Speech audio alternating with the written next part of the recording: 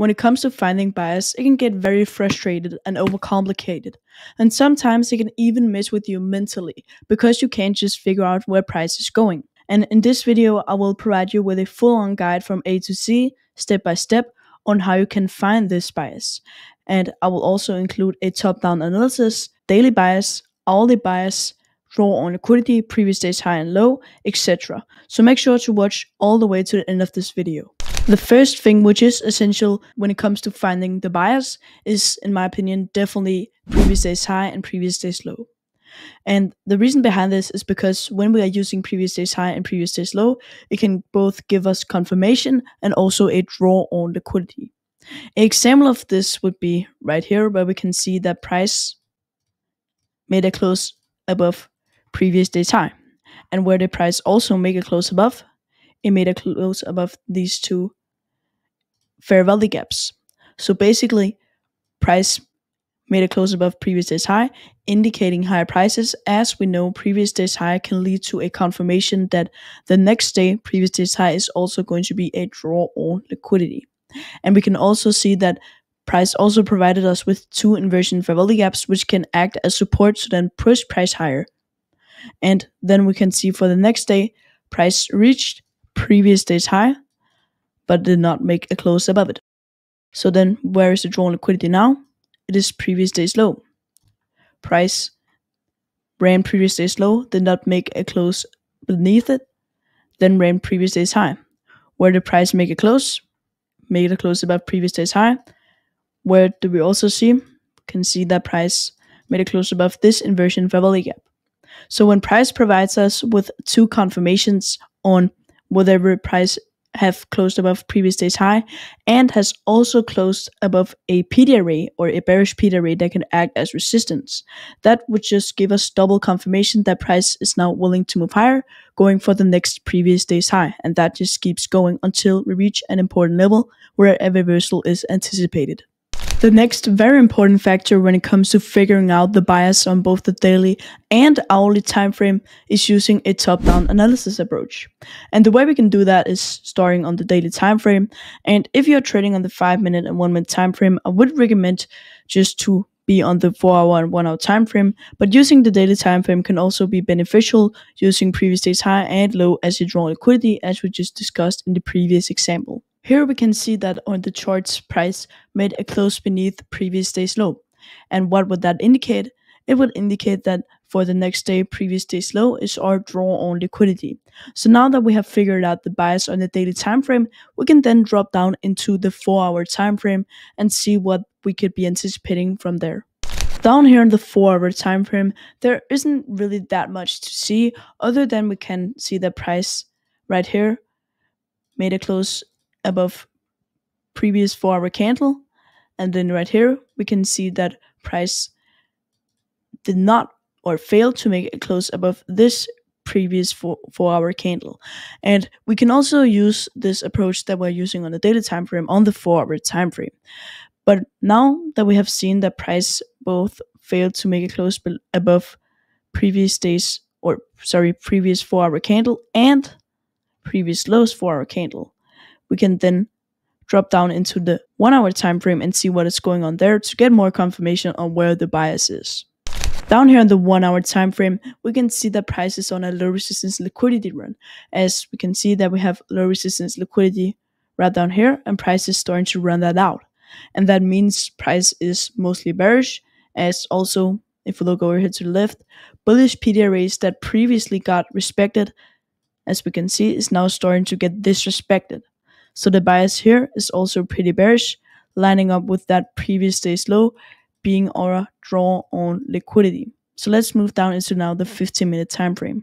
Down here in the 15 minute time frame, we can see that price recently have been delivered from this fair value gap and that price also just ran equal highs as we can see up here. So price on the 15 minute time frame is also pretty bearish, and we can see the price made a retracement up into this fair value gap, reached the high of this, but no further. So now, where can we be anticipating the drawn liquidity to be at? It could be at the previous day's low. So let's just zoom in and see what happens now. And we can indeed see that Fair Value Gap delivery turns out to be a sweep or a run on that previous day's low. And that occurred right around 930.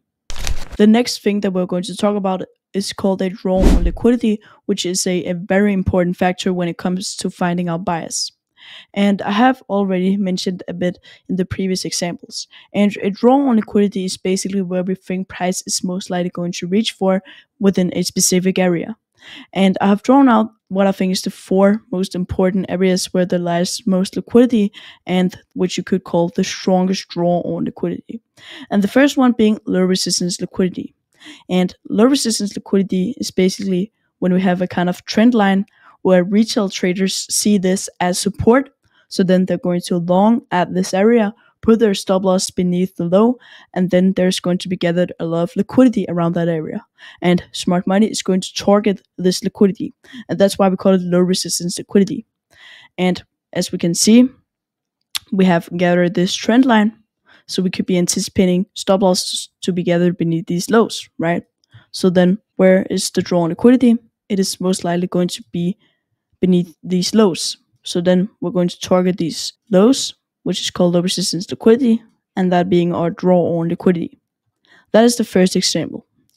The second example is equal highs, as retail traders usually see this area as resistance.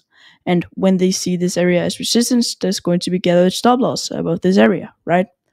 So then smart money is going to maybe reach down into an important level or just go straight towards these equal highs.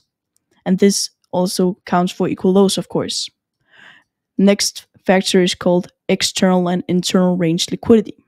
And external and internal range liquidity is basically when price reach external range liquidity, then the draw liquidity becomes internal range liquidity. And when prices have reached internal range liquidity, then the drawn liquidity becomes external range liquidity. As we know, price moves from external to internal and then internal to external range liquidity.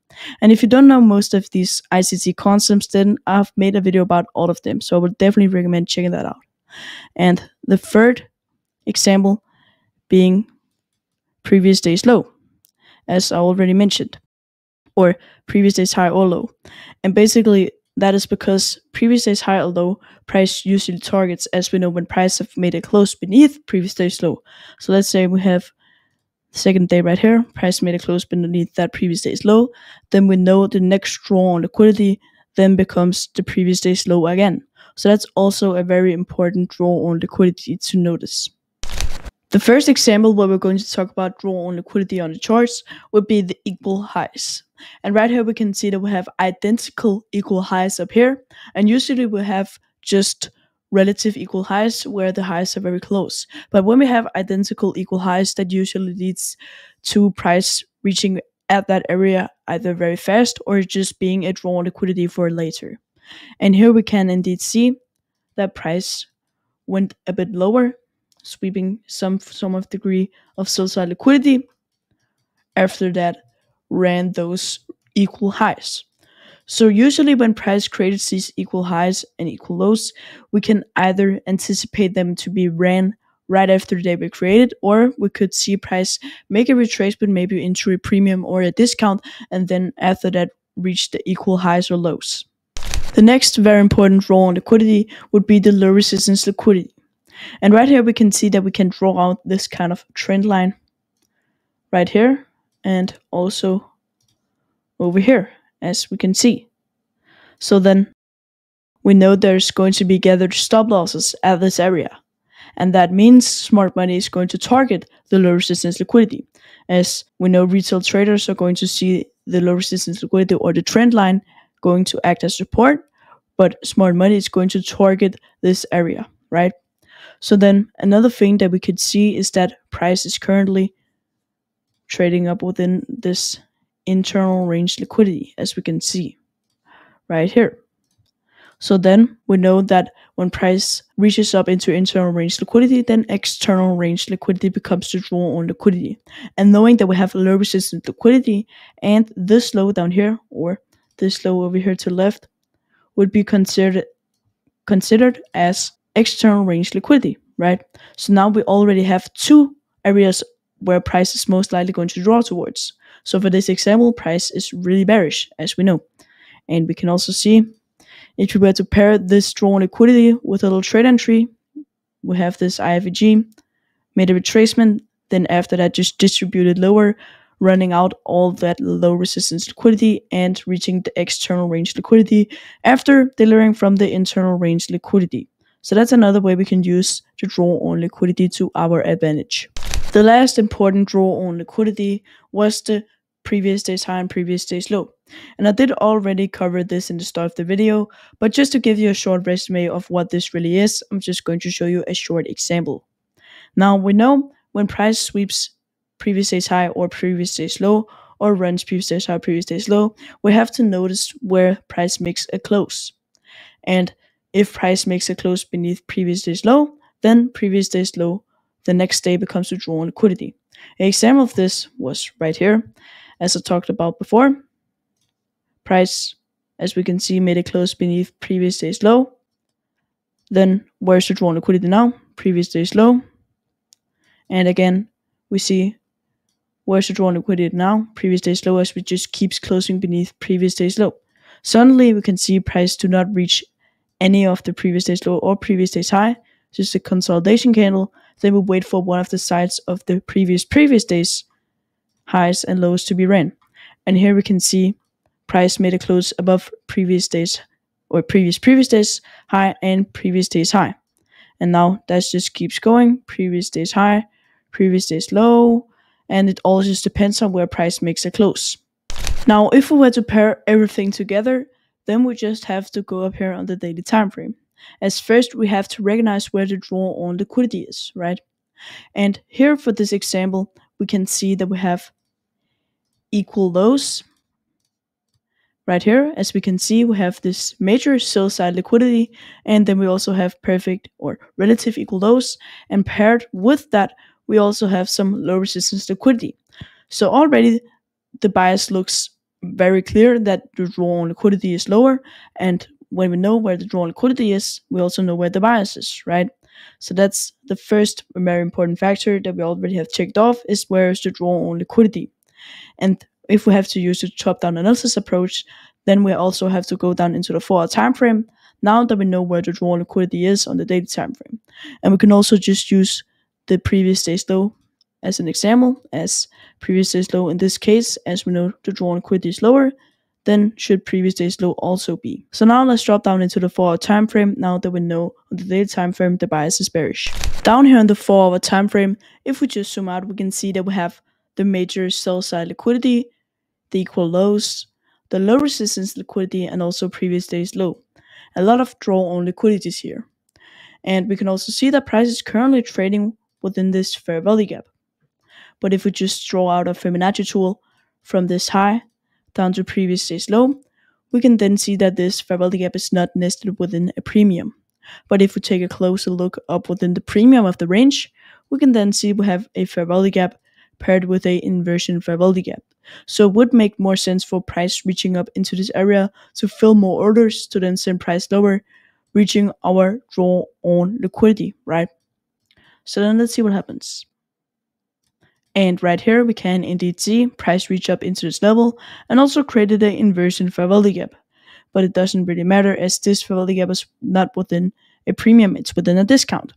And now we should see a strong reaction from this value gap that is nested within a premium.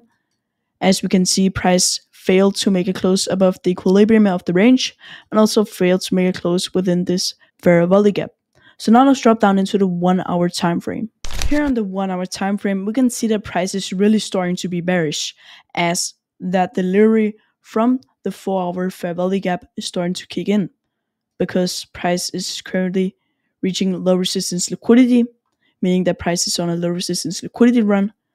Also disrespecting bullish PD arrays, which was used as support before, reaching up into that fair value gap and by the way, we could actually use this value gap or look at this value gap as internal range liquidity. And where would the external range liquidity now be?